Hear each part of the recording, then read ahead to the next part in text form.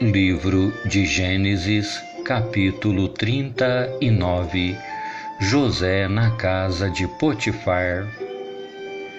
E José foi levado ao Egito, e Potifar, eunuco de Faraó, capitão da guarda, varão egípcio, comprou-o da mão dos ismaelitas que o tinham levado lá. E o Senhor estava com José, e foi varão próspero e estava na casa de seu senhor egípcio. Vendo, pois, o seu senhor que o Senhor estava com ele e que tudo o que ele fazia, o Senhor prosperava em sua mão, José achou graça a seus olhos e servia-o. E ele o pôs sobre a sua casa e entregou na sua mão tudo o que tinha.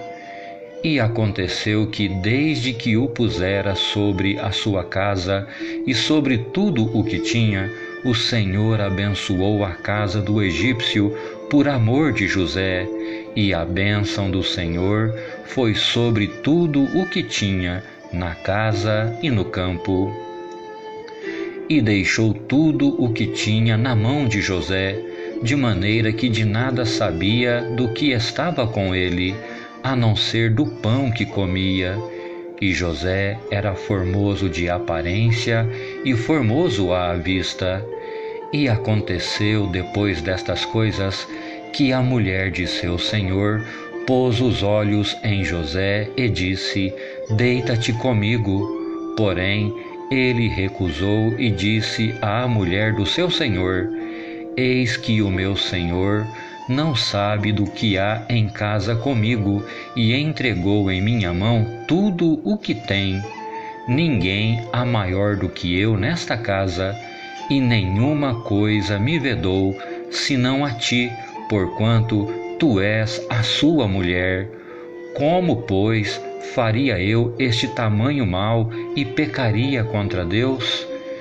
E aconteceu que, falando ela cada dia a José, e não lhe dando ele ouvidos para deitar-se com ela e estar com ela, sucedeu, num certo dia, que veio à casa para fazer o seu serviço, e nenhum dos da casa estava ali. E ela lhe pegou pela sua veste, dizendo: Deita-te comigo. E ele deixou a sua veste na mão dela, e fugiu e saiu para fora.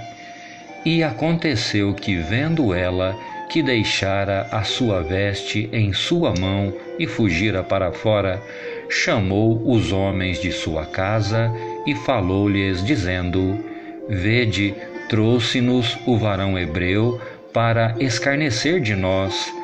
Entrou até mim para deitar-se comigo, e eu gritei com grande voz. E aconteceu que, ouvindo ele que eu levantava a minha voz e gritava, deixou a sua veste comigo, e fugiu e saiu para fora. E ela pôs a sua veste perto de si, até que o seu senhor veio à sua casa.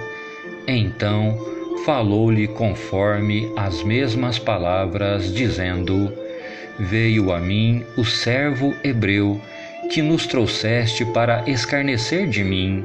E aconteceu que, levantando eu a minha voz e gritando, ele deixou a sua veste comigo e fugiu para fora.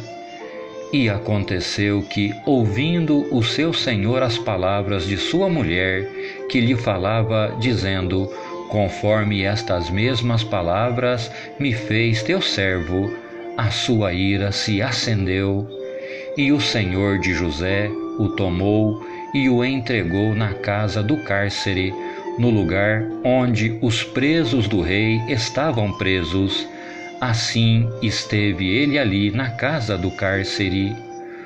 O Senhor, porém, estava com José e estendeu sobre ele a sua benignidade e deu-lhe graça aos olhos do carcereiro Mor. E o carcereiro Mor entregou na mão de José todos os presos que estavam na casa do cárcere, e ele fazia tudo o que se fazia ali. E o carcereiro Mor não teve cuidado de nenhuma coisa que estava na mão dele, porquanto o Senhor estava com ele, e tudo o que ele fazia, o Senhor prosperava.